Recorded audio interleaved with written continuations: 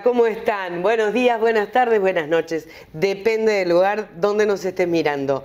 Aquí todos los viernes a las 22, porque antes me equivoqué, entonces eh, son los viernes a las 22 horas por televisión 33.net, YouTube y todas las redes sociales. Lo van a ver en, en todas nuestras redes sociales. Este programa Natalia Brunati, María Emilia Vidal y quien les habla Adriana Katz. Entramos a tu casa, a tu comedor, a tu cocina. Gracias por dejarnos entrar. Servirnos un cafecito, un mate, ¿sí? No para comer nada, estamos todas a dieta. Así que aquí empezamos. Hablé por mí. Ah, empezamos con Irradio Amor. El tema de hoy, chicas, es un tema divino, porque cuando lo empecemos a escuchar, ¡ay! Decimos, el cuerpo, el cuerpo grita. ¡Ah! Lo que la boca calla. ¡Ah! Ahí que nos encontramos. Dice que la enfermedad es un conflicto entre la personalidad y el alma. ¿Qué dicen ustedes de esto? La enfermedad física, ¿no? es una muestra de lo que nos está pasando. Totalmente. Esto los médicos tradicionales nos van a, nos van a criticar, pero... Pero esto es irradio amor. Lo que encontramos es que cuando... Bueno, yo pensaba en el programa anterior cuando me decías lo de mi garganta, ¿no? Yo venía con dolor de garganta y me decías esto de, bueno, que habrá que ahí que no querés decir. Eh, en general hacemos síntoma ahí donde hay algo que esté en conflicto. Claro. no solamente los conflictos emocionales, sino a veces muchas veces nos encontramos con síntomas en el cuerpo y el cuerpo grita, decís vos. Claro. El cuerpo grita, el cuerpo nos muestra aquello que no queremos ver. Vos sabés que mi abuela decía que todo lo que, lo que uno calla se pudre adentro. Mm. Y tenía mucha razón. Mi abuela, no, mi abuela era un fenómeno, mi abuela Nati, que le mando un, un besito hacia estrella. Vos no sabés, ella siempre tenía algo para, para contarte o para decirte. Y ella siempre nos decía lo mismo, ¿no? Me decía, ojo, Adri. Eh, y teníamos largas conversaciones justamente de, este tema, ¿no? Porque el, el resfrío, cuando uno está resfriado, es como que le chorrea la naricita, ¿no? Y qué cosas pasan ahí. ¿Cuántas cosas tendríamos que ver, no? Muchas veces eh, es la forma que tenemos de demostrar la tristeza. Claro, llora. El cuerpo llora. El cuerpo llora, el cuerpo grita, el cuerpo duele. Cuando duelen las rodillas, cuando duelen las rodillas habla de una cuestión de orgullo. Orgullo. Habla de una cuestión de orgullo, de decir yo no me doblego. Dicen que duelen las rodillas. ¿Y cuando no podés caminar es porque no querés avanzar? Tal vez, dependiendo la pierna que sea, a ver, biodescodificativamente te van a decir que, que depende la pierna va a ser, eh, o el pie, o sea, el, dependiendo el lado va a ser la madre o el padre, eh, tiene que ver con, con la raíz, con la familia, el tema de caminar también. Bueno, ahí ya nos metemos en el tema de la biodecodificación ¿no? Y que es un poco lo que tiene que ver esto, ¿no? Es decodificar lo que el cuerpo está gritando y a través de eso nosotros tenemos que saber qué es lo que nos pasa. El tema es que cuando hablamos de videodecodificación o de cualquier tipo de psicoterapia, lo que tenemos que tener en cuenta siempre es el caso por caso, ¿no? Claro. Digamos, hay unas generalidades y uno puede decir, bueno, si me duele la garganta, es evidente que hay algo que no estoy pudiendo decir. lo tengo acá. ¿no? Algo que estoy queriendo gritar y no estoy gritando o como decía Adriana, bueno, si hay algo, hay un paso que no quiero dar, no puedo caminar y hay un paso que no estoy, no estoy pudiendo dar o que no estoy queriendo dar. Eh, después vamos al caso a caso y en cada uno es muy particular, pero sí tenemos ciertas generalidades, ¿no? Uno sabe que cuanto más deprimida está una persona, más enferma, cuanto más angustiada, más este, síntomas que aparecen y que, que deben tener en casa también, gastritis, dolores de estómago. Algo que no puedo digerir. Algo que no puedo, transmitir, hay algo que no estoy pudiendo resolver. Los síntomas y las enfermedades siempre nos hablan de algo que no estoy resolviendo. Por eso esto que vos traes es un conflicto entre una parte y otra parte. Alguien me dijo que uno se va enfermando como de a poco hasta que llega lo que sería el síntoma, que ya es la alarma corporal, que uno primero se enferma en el plano espiritual, en el plano de la razón, y ya el cuerpo, cuando no hay manera de, que le demos bolilla a estas alarmas interiores, entonces el cuerpo reacciona diciendo, ojo acá. Claro, qué tema, porque mm, vos decías, lo primero que que se enferma es como eh, el espíritu. Y volvemos al tema anterior, que sería la energía, ¿no? que teníamos en el programa anterior. Eh, lo que se, se enferma es el espíritu, es la energía, es el nombre que uno le quiera poner, hasta llegar al cuerpo entonces. Uno sabe que cuando ya el cuerpo está dañado, por lo menos desde el ámbito de la psicología, uno sabe que cuando el cuerpo está dañado, estamos hablando de una enfermedad mental o emocional que ya avanzó mucho. Porque hay que, yo, hay que siempre hacer una distinción, porque si no uno parece que habla de enfermedades psicosomáticas y parece como que, ah, la gastritis no la tengo, mi mente me la inventa. Y no es eso la enfermedad psicosomática. La enfermedad psicosomática lo que dice es que hay un conflicto emocional, que lo estoy llevando al cuerpo y que mm. ya lo lastimó, ¿sí? hizo una erosión en el cuerpo. Entonces uno está ahí hablando de una, de una enfermedad que es difícil de tratar y que realmente necesita apoyo. Entonces, nos ponemos re serias hoy. Ay, sí, no, estoy re atenta porque, ¿sabes qué pasa? Te digo una cosa, yo estoy haciendo un escaneo. Estamos pensando a ver, qué pasa hoy. Porque hoy me levanté con dolor de cabeza, por ejemplo. No, no sea COVID, No, no, no, no, no. No, no, yo tengo, tengo todos los análisis muy bien, salvo los análisis psicológicos. bueno, bueno, eso no va a salir bien volviendo, en realidad cuando hablamos de que hay un, síntoma en el cuerpo, cuando ya hay una lesión en el cuerpo, cuando el cuerpo está lastimado y la rodilla ya tiene una artrosis o tiene una rotura de ligamentos, o así, ya estamos hablando de que del plano emocional esté lastimando el cuerpo es porque lo emocional ya se cayó durante mucho tiempo. Exacto. También esto tendrá que ver con la fortaleza de, de cada ser humano, ¿no? Es decir, hay gente que se enferma menos, hay gente que se enferma más. Porque a veces la fortaleza la confundimos también con... Con el aguantar. ¿no? Con tener... En general uno no tiene que ser personas que... Y seguís igual, y me levanto igual, y sigo trabajando igual, y sigo atendiendo la casa igual, y sigo manejando igual, y sigo enfrentando los problemas. Yo puedo, yo puedo, yo puedo, yo puedo. Y en realidad eso es algo en lo cual estamos también como muy marcados y estamos como exigidos a siempre poder y siempre estar sonriendo y siempre estar fuertes. Y en realidad la fortaleza, si uno va un poquito más allá, tiene que ver con los recursos con los que contamos. Si cuento con recursos para enfrentar las situaciones, no hace falta que siempre esté parada rígidamente y que pueda ir contra todo como si fuera un tren bala. Sí. Es poder ser respetuoso de mi cuerpo también. Y a veces tendemos muchos ahora a, a no respetar el descanso, no respetar el, eh, la alimentación, a no respetarnos, ¿no? Ni siquiera tener un orden. Ni siquiera dejarnos estar un día si tenemos ganas de estar tristes y decir, loco, hoy estoy triste. Y permitir drenar esa tristeza, llorando. Bueno, justamente, el permitirse. El permitirse es todo un, todo un tema. No, no todos estamos capacitados para permitirnos determinadas cosas. Pero por otro lado, ustedes saben que hay gente, yo voy, vengo, voy, vengo, vieron, voy para atrás, vengo, soy re inquieta. Em, eh, ¿Qué cosa esa yo, no? Esa palabra, ¿no?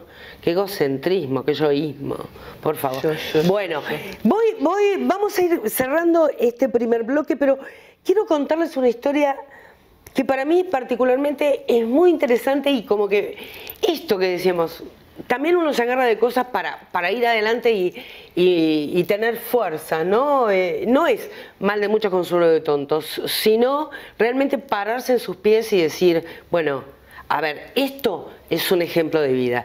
Nosotras tenemos una seguidora de Radio Amor que, que es del interior, se llama Nati Vallejos, tiene, son siete hermanos, su mamá perdió a su mamá desde muy pequeña, con lo cual tuvo que aprender a ser madre sola. Me mandó un audio y, para compartirlo con las tres y que eh, lo sepamos y realmente es, es más que interesante. Yo quiero que lo comparta la gente de Radio Amor, porque no es para llorar, es para decir, vamos, se puede, vamos para adelante. Así que vamos con, con Nati Vallejo, con su mamá y con el audio maravilloso que nos mandó. Hola Adriana, ¿cómo estás? Eh, soy Natalia Vallejo, soy de Mercedes Corrientes. Quiero compartir con vos en tu programa de Radio Amor la historia de mi mamá, que es María Gloria Silva. Ella es una mujer que, que a los cinco años ha perdido a su mamá de la peor manera. Eh, somos siete hermanos. Yo soy la mayor de todos de los siete.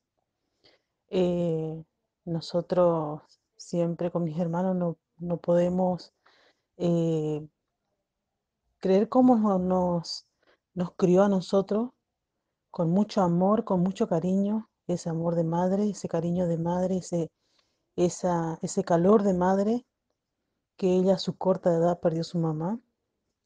No, sabe, no sabía leer ni escribir, nunca fue a una escuela, eh, se crió mal, de casa en casa, eh, comiendo, comiendo en una latita detrás de una casa. Se crió la peor manera, pero ella a nosotros nunca nos abandonó y nos crió eh, con todo ese cariño y ese amor, con, esa, con ese respeto, enseñándonos el respeto, la, la honradez, la honestidad y con todos los valores. Nos enseñó a compartir, nos enseñó a, amar a la vida, a las personas, con, con, toda su humildad, con toda su pobreza. Eh, a veces teníamos para comer, a veces no, o, siempre ya algo nos tenía que dar. Si nos daba un poco de polenta con grasa, un sancocho, como se dice acá, pero siempre ella nos alimentaba. Ella siempre era un mate y nosotros comida. Eh, a nosotros nos daba una cama que no teníamos colchón, sino era ropa, era colchón, era ropa y ahí dormíamos todos. Este, eh, siempre nos mandó impecable a la escuela con nuestro guardapolvo. A veces nos quedaba corto, ella nos, agregaba un pedacito más de tela en el puño del, del guardapolvo o en el, el ruedo, siempre con nuestras zapatillas bien limpias, bien bañaditas, mis hermanos también, ropa que le regalaban del trabajo, ella deshacía y armaba para nosotros. Eh, nosotros no conocíamos que era una fruta, nada. Cuando ella cobraba, nosotros sabíamos cuando ella cobraba porque ella nos traía un yogur y nosotros le decíamos, hoy cobraste mamá porque me traía un yogur. Eh, los domingos que ya tenía tiempo, eh, hacía una huertita y ahí empezaba a, cosechar ya papa, eh, batata y mandioca. Y eso ella hacía hervir. Cuando no teníamos carne, porque no comíamos carne, comíamos mandioca y nos hacía hervir y nos decía, eso es igual que la, carne. Pero con todo ese amor y ese cariño que ella nos dio, eh, hasta ahora nosotros decimos, ¿cómo ella aprendió a ser mamá que ella nunca tuvo mamá?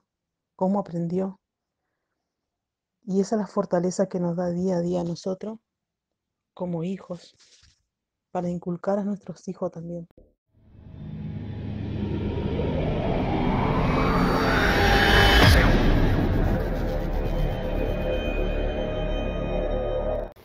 Bueno, escuchamos a Nati, qué historia, chicas. Wow.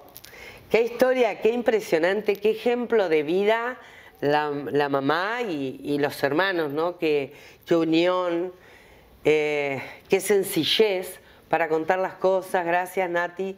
Gracias a toda la familia Vallejo. Em, no tiene muchas palabras esto. ¿No? Hablábamos de lo mismo que, yo planteaba antes, ¿no? que es el tema de los recursos. A veces uno, el medio no nos da los recursos y, Nati es un ejemplo de que los recursos podemos construirlos. Y, por ahí no tenemos un ejemplo de mamá, porque no, tuvimos la fortuna de, tener una mamá que nos acompañe, y sin embargo construimos los recursos y, eso es lo que me parece más valioso del, de la mamá de Nati. La mamá de Nati, ojalá algún día la, pueda conocer. Nos mandó unas fotos de, vieron las de, de cuando cumplió los 70 años y nada, qué maravilloso esa familia unida, eh, hermanos mellizos, siguiendo para adelante. Es un ejemplo, es todo un ejemplo. Es un ejemplo que se puede. ¿De qué se puede? Puede parecer incre- imposible. increíble, que decís, bueno, no voy a llegar. o- De a poco. De a poco y con la convicción de que en algún momento uno logra eso que busca. Y con esto del amor, ¿no? Entregar, eh, obviamente uno ama a sus hijos, pero entregar toda su vida por amor a sus hijos y después esa retribución de los hijos, ¿no? Porque los hijos bien podrían haber hecho, que hicieron sus vidas, obviamente, pero siempre vuelven al nido, siempre vuelven a la casita de mamá y... Y porque mm, más allá de la falta de recursos, fue una mamá nutritiva. O sea, Totalmente. ella buscó la forma de nutrir a esos hijos y a su vez ella se nutrió de las eh, de las vivencias y aprendió un montón de cosas y lo supo eh, valorar y lo supo eh, ¿cómo se llama? poner eh, para sí como un como un logro. Bueno, y entonces en este, en este caso, digo yo, ¿no? Eh, el alma habla. ¿eh? Más allá de que esta mujer le puso el cuerpo y le puso el alma, creo que el alma habla. Y de esto tenemos mucho nosotros hoy para contar. ¿Sí? Para seguir adelante, levantemos, chicas, por favor. Se los pido. porque estamos, venimos como ca- caliente, la fiebre, la fiebre. La fiebre es algo caliente. La fiebre es la defensa del cuerpo para el medio, ¿sabían eso? No, Es jodeme. el cuerpo, son las defensas, es el sistema inmunitario respondiendo a los agentes externos. Es la No. forma, son las barreras. Entonces, bueno, hay muchas medicinas que hoy por hoy eh, cuestionan esto de bajar la fiebre. Viste que tenemos fiebre y enseguida queremos bajarla. Mm. Sí. Hay muchas teorías que dicen que en realidad hay que dejarla... Hay que dejar al cuerpo trabajar. Hay que dejar Sí, pero cuando llegaste a los 42 grados de fiebre, grados de bueno. fiebre, no, yo te diría- cuestiones que están ahí. Claro. Medidamente. Si tenés- hoy por hoy, si tenés 37 y medio, Llama lo, al médico. llama al médico. Hisopado seguro. Así, así, de una. Pero bueno, la fiebre, bueno, la fiebre todo. calienta. La fiebre calienta. ¿De qué fiebre hablas, Adri? De la, de la fiebre, eh, de la fiebre, de la fiebre del resfrío. Nos, va- nos vamos, nos vamos al tacho. No, no. La fiebre caliente es el cuerpo respondiendo. A mí me encantó la parte de la fiebre.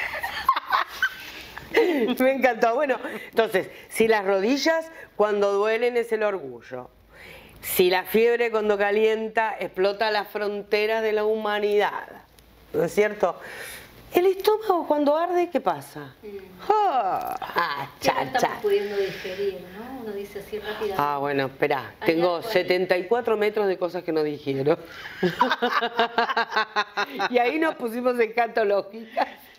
Hay, hay un montón de cosas que no podemos digerir, de la vida cotidiana, de las relaciones, de nuestros trabajos. Hay un montón de cosas que, que nos resultan difíciles. Y de los pero nervios. porque nos peleamos con la realidad. Cuando uno le duele el estómago por nervios, de por Pero- ansiedad. bueno, pero generalmente sea, no uno puede digerir la, dice- la ansiedad. Uno La dice, ansiedad es vivir un paso más allá de donde estamos. Sí. y no hay que vivir ansioso. ¿Qué es eso? No hay que vivir un paso más allá. Porque el hoy es el hoy y el ayer ya fue. ¿No? Y el mañana es incierto. Con lo cual hay que vivir Acá. ya. Hoy, ahora. Y vamos a ir a un músculo. A ver, El gran músculo. Porque como nosotros nos llamamos irradio amor, lo primero que pensamos es en el músculo. En el cerebro. No, en el corazón. Mira, cómo te jodí. En el corazón. ¿Qué pasa con el Es que corazón? yo soy virginiana. Ay, yo soy de Castelar. ¿Qué tiene que ver? hoy me tienen totalmente. Como siempre. Hoy venimos, pumba. ¿Te acordás que el otro día hablábamos del tema del, del músculo, del corazón? Bueno, eh, las cosas están en la cabeza, el músculo bombea bombea sangre, pero cuando existe el, eh, el momento en que lastimamos el músculo del corazón, cuando esto aflora en el corazón, ahí me parece a mí que como que estamos en, un problema, de como que queremos, ¿qué es lo que hace en, el cuerpo el corazón? Es la continuidad de la vida. Eso es lo que te iba a decir. En realidad cuando, ya estamos lesionando el corazón, estamos hablando de que ponemos en riesgo la vida en un segundo. ¿no? Porque cuando algo del corazón, eh, eso es un infarto, ¿no? Cuando algo del corazón muere, una parte del corazón se muere, eh, estamos poniendo estamos ahí al bordecito de caernos del lado de la muerte. ¿Y eso podría asociarse a la depresión? ¿Ustedes qué dicen? Muchas veces sí. Calculo que sí. Sí, ¿no? ¿Y la depresión qué sería? ¿Es una enfermedad? Pues no es una enfermedad física o no es una enfermedad física. Mm. Porque algunos dicen que la depresión es la falta de no sé qué. en realidad, a ver, eh, hay muchas teorías encontradas con esto. Lo que uno sabe es que al síntoma emocional, que es la depresión, le corresponde neurotransmisores faltantes en el cerebro. Entonces, por eso se medica. Mm, Cuando la claro. es severa, se medica para que esos neurotransmisores estén disponibles. Bueno, me voy a poner muy teórica. No, no importa, no importa. De cómo funciona el antidepresivo, pero en realidad es, hay ciertos neurotransmisores que no están disponibles en el cerebro y uno tiene sensaciones, sensación y la emoción de la depresión. Ojo, una cosa que yo marco ahí mucho, sobre todo en mujeres, es, a veces parece que estamos deprimidas y lo que tenemos es un problema de tiroides. Ah. Me ha pasado muchísimo con pacientes, de recibir pacientes muy deprimidas, muy deprimidas y decir, sí, el endocrinólogo qué dijo de esto. No, no, me mandaron al psiquiatra y me medicaron. Ojo. Ah, bien. Ahí yo voy a tomar algo que dijo Adri y que en el otro corte se nos hizo cortito y, no pude decirlo, que es el autochequeo, ¿sí? El registrar las emociones y lo que nos va pasando. Que nosotros mismos somos los mejores usuarios de nuestro físico. Entonces somos nosotros los que podemos tener el mejor ¿Dónde me hace ruido? ¿Dónde me hace ruido? ¿Qué es lo que siento? Tratar de, autopercibir, ah, esto, mm, ¿de dónde viene esto? Por eso tantas terapias alternativas también, ¿no? Porque estamos evolucionando en muchas cosas y estamos involucionando en muchas otras. Entonces, si hemos evolucionado en tantas cosas, tenemos, los seres humanos tenemos muchas herramientas para salir adelante. ¿Qué pasa cuando no las tomamos? Eso es otro de los puntos, ¿no? Que traíamos un poco con el, con el... Es que a veces no sabemos que están, a veces no las notamos, a veces no nos escuchamos o sea, creo que a veces es un rejunte de todo. ¿no? Uno va a una psicoterapia, por ejemplo, y uno como terapeuta brinda todas las herramientas y dice, bueno, pero mira todas las herramientas que tenés y el paciente no las toma. Claro. Esto, por eso digo lo del autochequeo, la autoconvicción, mm. poder ver qué es lo que yo siento, qué es lo que a mí me pasa y empezar a tomar las herramientas del medio, lo que tenemos a mano. Después podemos ir evaluando cuáles son las que me sirven y cuáles son las que menos me sirven pero herramientas siempre hay. Pasa que eso también es un trabajo por parte de, la, de cada uno. Hay que comprometerse. A ver, no es fácil. Vos decís, sí, tengo, me ofrecen esto, esto, esto, esto, acá me suena así, pero si yo no le pongo acción, si yo no me ocupo de ver esas mejorías, de hacer esos trabajos para mejorar, es, es como... El compromiso consigo mismo. Básicamente. Y quedándome con esto, Quedándome con estas dos cosas, escuchándolas atentamente, porque son sumamente inteligentes las dos, yo digo, ella me dice, a ver si me preocupo. No, sí me ocupo, dice. Sí me, perdón, sí me ocupo. Y yo digo, a ver si me ocupo y si me preocupo. ¿Sí? A ver, son dos cosas. Uno puede vivir la vida preocupándose o puede accionar y ocuparse en un ratito venimos con, con, otro, con otro bloquecito más. Ahora, Janina Junta está con nosotros, cantante, actriz, bailarina, estuvo en extravaganza, productora, es completísima, amiga nuestra. Gracias, gracias Janina por, por este video, gracias por traernos tus canciones a nosotros y toda esa creación infinita, dueña de una voz increíble y de una personalidad envidiable. Janina Junta en este corte. Hola, ¿cómo están? Soy Janina Yunta y quiero saludar a toda la gente de iRadio Amor, mi querida amiga Adriana, un placer estar conectada con vos. Bueno, quiero contarles que el día 28 de noviembre voy a estar junto a Pimpinela haciendo el teatro Ópera por streaming, un espectáculo único presentando 2020, el año que el tiempo se detuvo.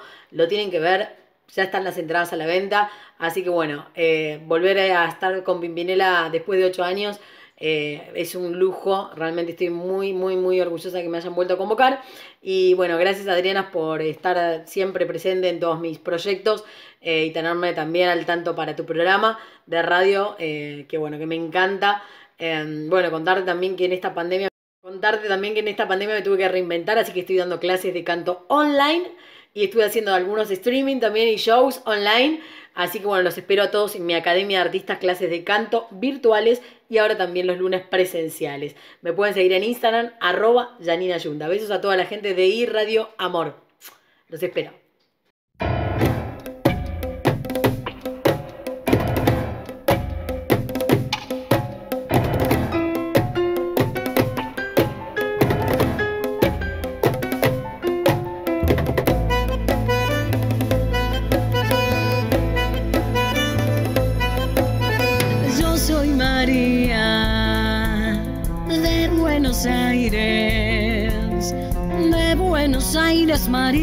No ven quién soy yo. María Tango, María de la Rambal, María Noche, María Pasión Fatal, María del Amor, de Buenos Aires soy yo. Yo soy María de Buenos Aires. Si en este barrio la gente pregunta quién soy pronto muy bien lo sabrán las hembras que me envidiarán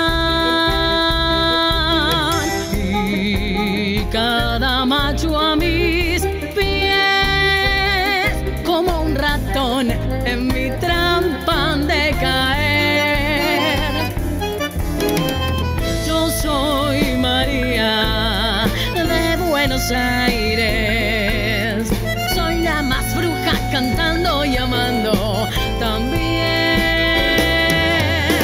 Si el me provoca chartatay, me muerdo fuerte la boca chartatay, con diez espasmos en flor que yo siento en mi ser.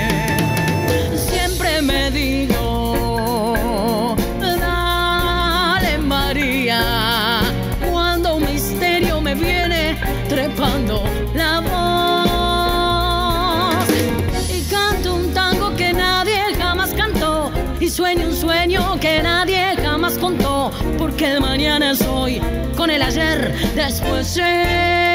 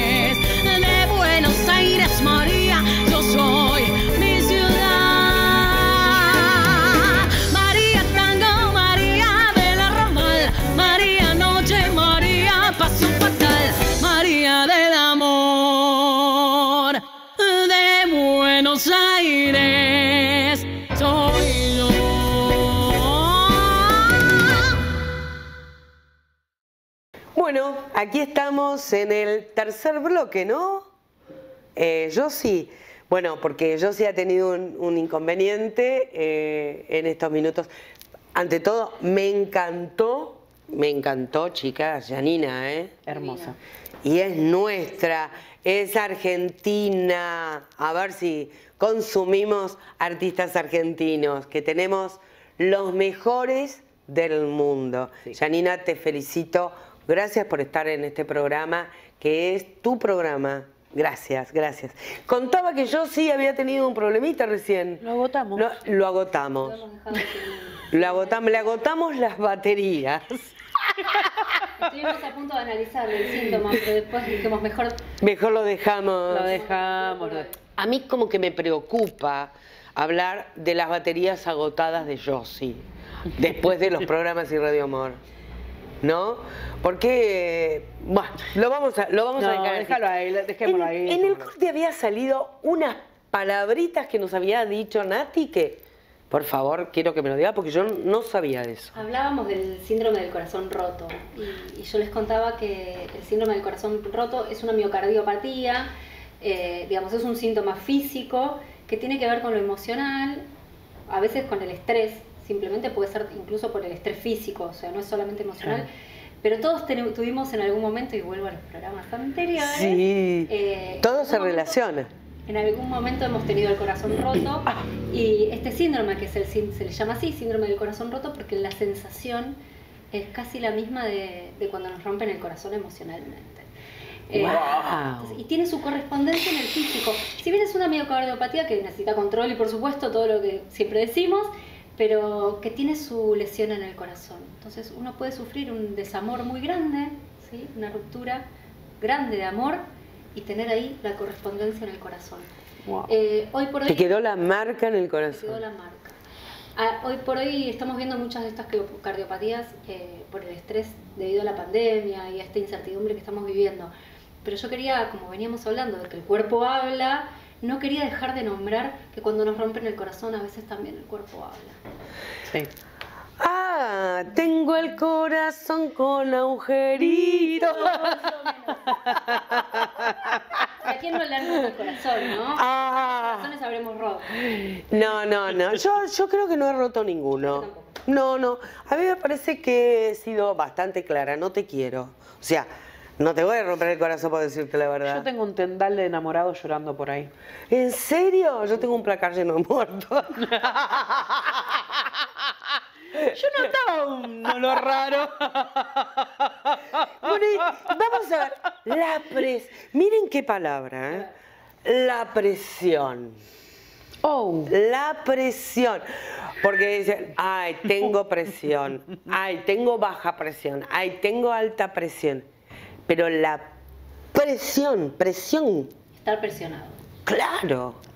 ¿Me presionan externamente o me presiono yo mismo? Soy autoexigente, soy demandante, me demandan, tengo la necesidad de responder esas demandas. Todo eso son presiones. A veces eh, la presión se dispara frente a un estrés emocional muy fuerte. Claro. ¿sí? A veces la presión baja lo que hace es este, permitirnos evadirnos. Ah, mira. ¿No? Baja- Cuando somos muy rígidos también solemos como estar más con la tensión generalmente más alta. Bueno. ¿Eh? ¿Querés contarnos? No, no, no.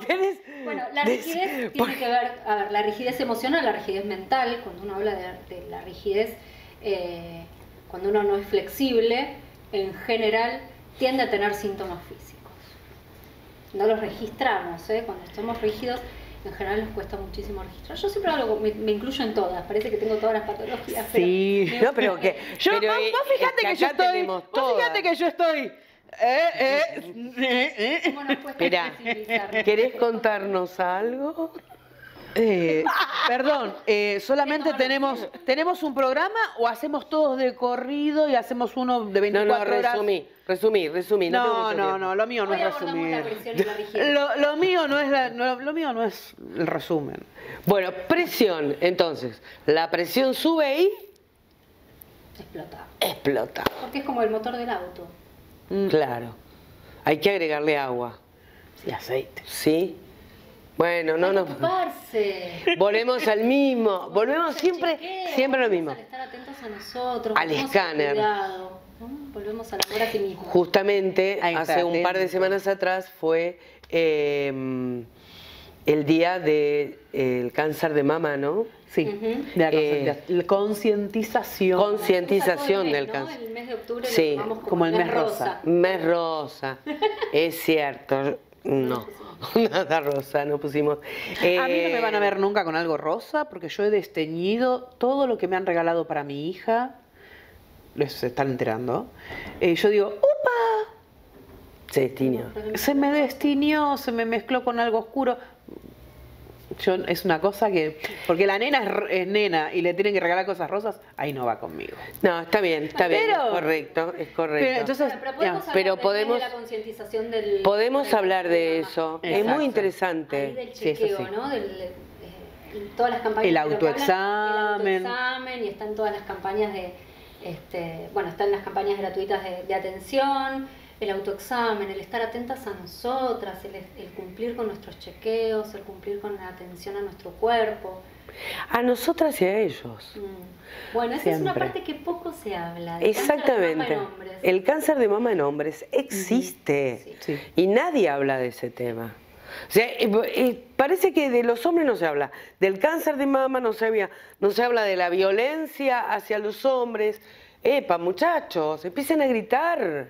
Somos todos Empiecen seres a gritar. humanos y hemos, compartimos muchas los hombres, cosas. Y en esto creo que van a coincidir conmigo, en general los hombres, eso- las generalizaciones son horribles, pero en general los hombres hacen muchísimas menos consultas médicas y psicológicas que las mujeres.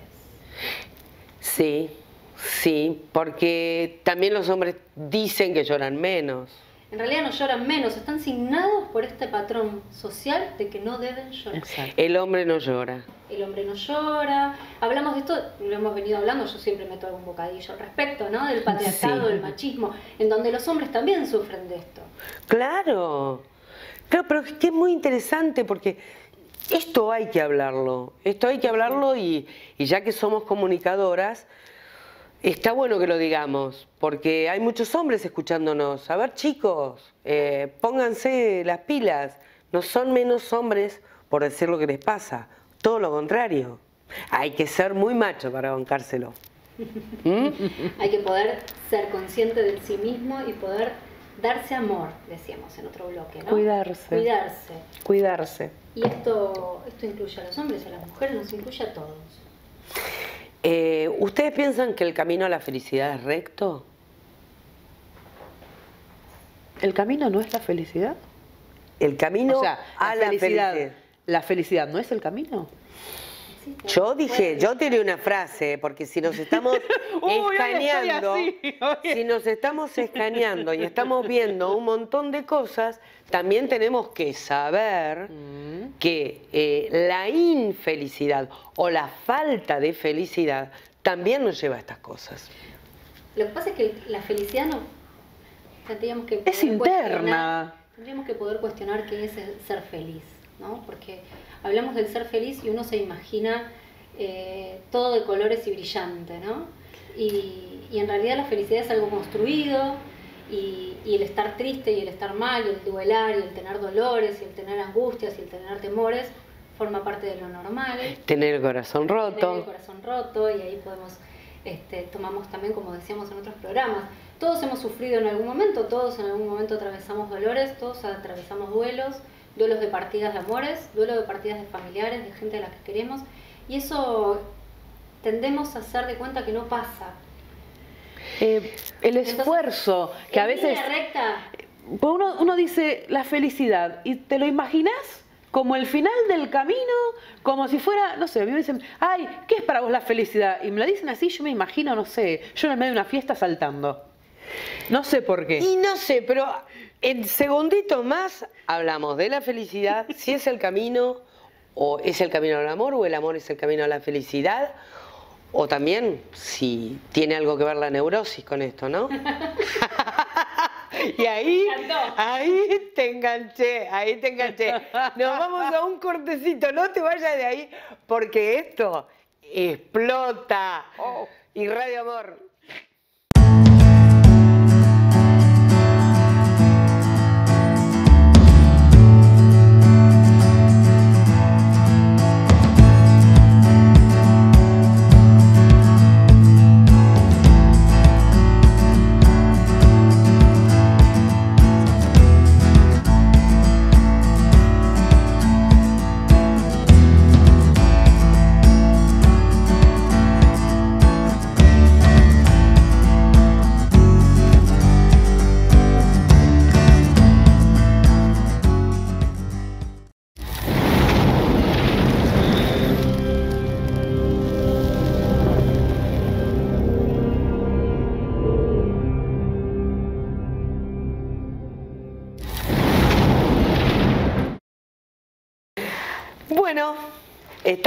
Prácticamente llegando al, al final de Radio Amor y antes de irnos del bloque anterior yo decía, hablábamos de el camino a la felicidad es recto, no es recto, el camino hacia el amor es la felicidad o la felicidad es el camino hacia el amor o, o se me complicó. ¿Y qué tiene que ver? Con todo esto la neurosis. Entonces, ¿qué? Las agarré feíto. ¿Qué es la neurosis? La famosa neurosis. Está neurótica, está neurótica. Bueno, eso también forma parte de un preconcepto, pero la neurosis en sí es una entidad eh, psicológica, es un diagnóstico, digámoslo así, dentro de algunas este, corrientes psicológicas. La neurosis es el modo, yo lo voy a decir de una manera que no es exactamente de los libros, pero Mejor. el modo en que yo lo trabajo. La neurosis es, el, es la forma en que yo me relaciono con los otros. Ajá. El la tipo forma- de relaciones que yo armo con los otros o con las cosas, eso es lo que marca cuál es mi neurosis. Entonces, si mi Ah, relación correcto. con los otros es como decíamos este, en otros momentos, eh, si yo soy bufarrona, soberbia y todo eso, eso forma parte de mi neurosis, ¿sí? De mi enfermedad mental. Claro. Tiene que ser duro. Que todos tenemos algo. Sí, seguro, todos Todos tenemos algún enfermos. Más chiquitas, Sí, más grandes. Tenemos un modo de relacionarnos que es particular y que en general nos lleva a preguntarnos qué es lo que estamos haciendo como para repetir ciertos patrones de relaciones y repetir relaciones que no son tan buenas. en Como las tóxicas. Como las tóxicas, por ejemplo, que podemos hacer otro programa. Otro programa. A mí me encantaría Otra hablar. Un programa entero de relaciones tóxicas, ya se los Ya digo. Me encantó, armémoslo porque me fascina. Pero bueno, viste que ahora todo el mundo, eh, los chicos, ¿no? Eh, la tóxica, el tóxico, como si eh, es como una moda. Sí, pareciera que ¿No? todos somos tóxicos. En realidad lo que nos dice eso es que todas nuestras relaciones están contaminadas. Claro, exactamente. Todas. No me pongas carita de angelito porque todos. No, no. Todos tenemos para cuestionarnos el modo de relacionar. Exacto. Con las cosas, con las personas, etcétera. Eh, vos hablabas de la neurosis y el amor. Y yo te Sí. traigo así, siempre te traigo algo de Freud porque nos encanta. Sí, bueno, pero nos Y, encanta. nos ha- y Freud nos traía como algo muy poco romántico, que es que nos reunimos más, nos enamoramos más por neurosis que por amor. Y te la dejo yo ahí ahora. ¡Chao! Nos enamoramos Más más, por neurosis que por amor. o sea, por la forma de relacionarnos con el otro. El que elegimos Mira, fíjate cómo, cómo va cerrando, ¿no? Nosotros eh, en general, no, no los psicólogos, sino los que solamente tocamos de oído, eh, solemos escuchar esta frase que decía antes, de soy neurótica o él es neurótico o aquella es neurótica. o- O tóxica. o- no, pero el neurótico se lo toma como, em, como, ne- como nervioso, como, ay, sí, es, es un histérico, es un neurótico. Y no, no hay un trasfondo mucho más importante de lo que es la neurosis, ¿no? Además hay distintos tipos de neurosis. Vos traías esto de la, la modernidad, digamos, el, el- el tiempo común ahora, lo, lo cotidiano, y uno escucha mucho hablar de fobias. Tal cual. Y podemos hacer todo un programa en realidad. Ay, sí, por favor, te lo pido. Ya me armé una colu- ya me aseguré el programa. Dale, dale, el próximo programa que hablamos, ¿de fobias o de...? relaciones tóxicas. Podemos hacer un programa sobre las dos cosas. Dale, dale. ¿Y tenerle fobia a las relaciones tóxicas? Tampoco. se- No. se Eso comprometió. sería sano. Ah, bien. Eso sería sano. Eso sería sano. Que uno pudiera tener, en- digamos, tener las señales de alerta, que uno podría marcarlas, de, una, de lo que va a ser una relación tóxica y salir corriendo, eso sería sano. La fobia es el miedo al contacto con el otro. Claro. es el miedo a relacionarme, es el miedo a enamorarme, es el miedo a entregarme, es el miedo a... a Y la fobia, como hablábamos el- la otra vez de las fobias a los animales, ¿no? Que también el- el- eh, a las mascotas, que es algo eh, tan, eh, tan bonito la relación con una mascota porque es, es de, de amor puro, realmente, ¿no? Porque el ser humano es el que tiene un poco la cabeza podrida, vamos a decirle así, es, La llanamente. sirve como pared para no tocar algo, Claro. por así decirlo. Claro. Eh, Bueno, a mí que me dejen la parecita para que no me caiga, yo tengo vértigo. Qué linda que sos. Y el vértigo es, es del libro, Nati. Es del libro. A Es ver, libro. yo ya sé que soy incurable. No, no, a mí me encanta. además me y el programa puede durar 200 Claro, claro.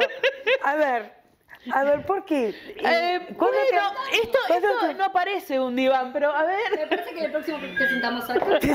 te, te me acostamos acá? ahí. ¿Qué es el vértigo, María Emilia? No, a mí me da eh, mucho. eh, yo tengo vértigo selectivo. Oh, oh, oh. Amo volar en avión. Uy, Nati. He volado en ultraliviano, en semiacrobático. Amo volar en avión. Pero, por ejemplo, no te resisto subirme a una escalera no muy alta, una silla que se mueve, donde me puedo caer. Claro. Por ejemplo. María Emilia, María Emilia, vos trabajas mucho con video de codificación, yo te diría que lo absorbas. ¿eh? Sí, ¿no? Cuando uno habla de determinados miedos en particular, Sí. ese no es el miedo a la altura, es el miedo a tirarse. No sé si tirarme o caerme.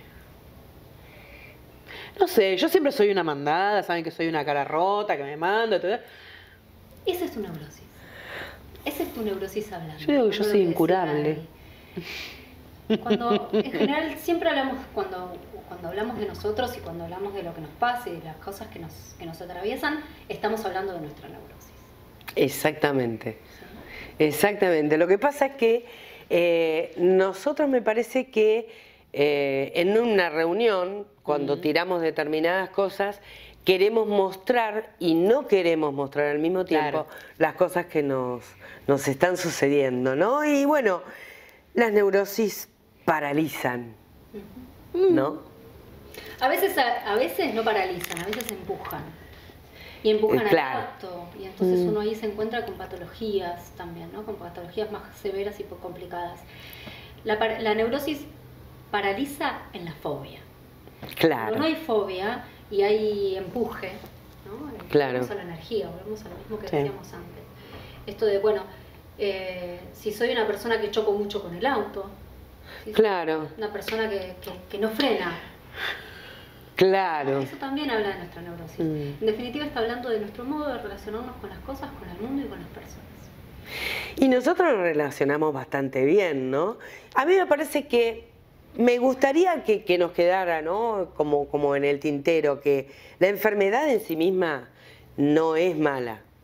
La enfermedad es lo que te avisa que no vas por un buen camino. Que hay Claro. algo que, poder, que tenemos que rever, que hay algo que tenemos que repreguntarnos y que hay algo de nosotros mismos de lo que tenemos que ocuparnos. Yo por lo menos no me subo a una silla. Yo no me subo a una silla, no me subo a una mesa. No, mentira.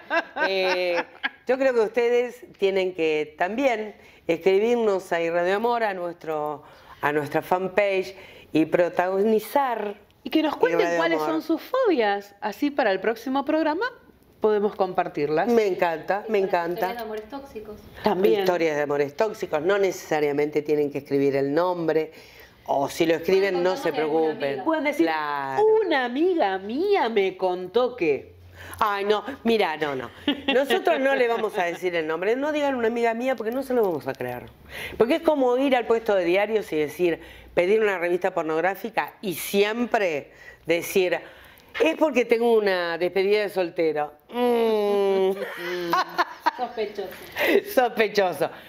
Y vamos cerrando este programa de Radio Amor, como siempre, llenas, llenas de amor, que tengan, como siempre decimos, una semana preciosa, una semana increíble. Y nos vemos el próximo viernes a las 22 horas. En el videograph están todos los lugares por donde nos pueden encontrar, donde pueden escribir. Se está acabando la batería de la computadora. Se me está acabando la batería, yo sí. Eh, Gracias, gracias por estar ahí y nos vamos con algo especial. Nos vamos con María Emilia Vidal cantando. Yo digo que la escuchen, es una, es una diosa, aparte de ser una, una gran amiga. Nati, eh, turno. El lunes a las 6. Muy bien. ¿18 o 6 de la mañana? 18 horas. Ah, bueno. Vamos Vamos, haces terapia. Están poniendo a hacer un grupo terapéutico. Mira, yo hice terapia de grupo y con esto sirve el programa. Hice terapia de grupo hace mucho tiempo, eran 70 psicólogos y yo. Nos vemos el próximo viernes a las 22 horas. Namaste. Chau.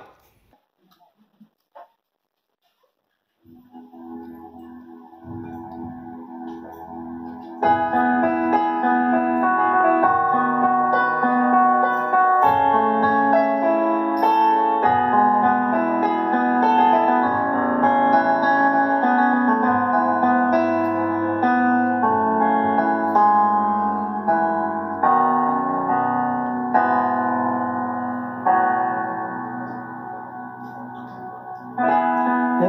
corazón al desnudo, te lo regalo, ya es tuyo, así lo cuidas por mí. No lo vistas a la moda, eso pasa y será historia, mejor déjalo así.